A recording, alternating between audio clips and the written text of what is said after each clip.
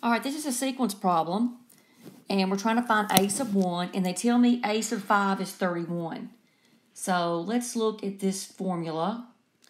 a sub 5 would equal a sub 5 minus 1, which is a sub 4 plus 5. So what this says is, to get a certain number in your list, you take the previous one and you add 5 to it. So this means that we know that a sub 5 equals 31. That means a sub 4 plus 5 must equal 31.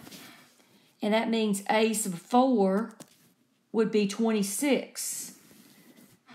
And we're going backwards, so we're decreasing by 5. a sub 3 would be 21.